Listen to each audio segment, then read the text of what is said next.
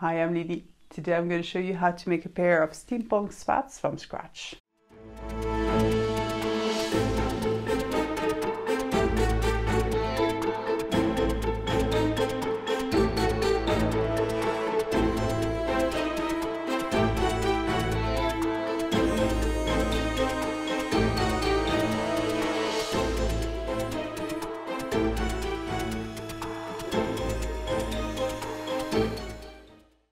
Spats are a great component for costume. If you don't want to sacrifice your own pair of shoes, you just make some spats to add on top of it.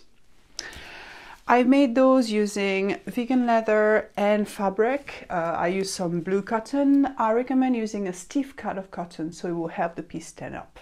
Now here's the list of all the material and tools that I've used. I think I forgot the eyelets and the cotton string or ribbon to lace it up. Enjoy the video.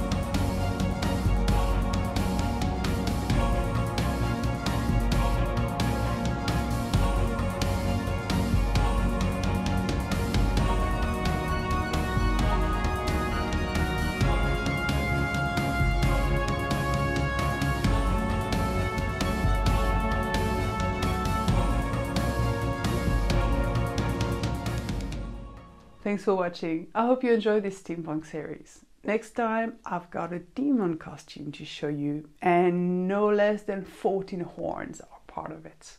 See you next time.